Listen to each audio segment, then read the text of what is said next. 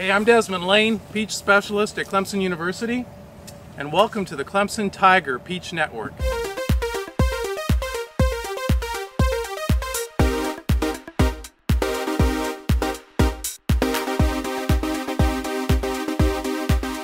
Today is July 1st, 2011, and it's our second season of Everything About Peaches.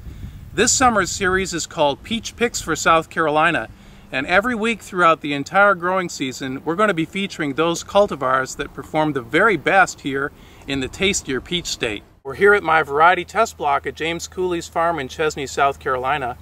And last time we featured a traditional style southern peach called Caroking. This time we're featuring a traditional white flesh peach called Southern Pearl. Southern Pearl was developed by the United States Department of Agriculture in Byron, Georgia. The breeder was Dr. Dick Okie, it was released to the public in 1997, and because it's a public release, you can propagate it freely. It typically ripens in the last week of June, depending on where you're located in the state. In our Clemson University research trials over the last several years, Southern Pearl's performance has been very good. It typically averages between two and three quarters and three inches in diameter.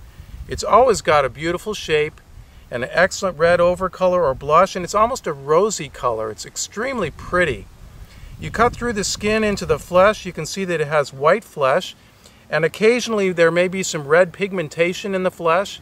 These are anthocyanin pigments, and they're excellent antioxidants, which mean there's a health benefit for you. Last week, one of the white flesh peaches that we featured was called Snow Bright. And Southern Pearl's a little bit different in the sense that it does have a normal amount of acidity, which gives it some tanginess. It's semi-freestone, and it's got a really nice aroma. So let's see how it compares in taste. Mmm. Now that is a nice peach. You've got a mixture of sweet and tangy and juicy. It's an excellent eating experience. Something you're looking for. Why don't you join us next week when we'll feature another peach pick for South Carolina. You know, being a peach specialist is too good to be true.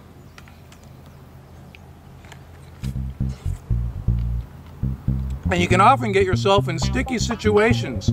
So make sure you got your paper towel handy. For more educational videos and information about peaches, you can visit my Everything About Peaches website at www.clemson.edu slash peach.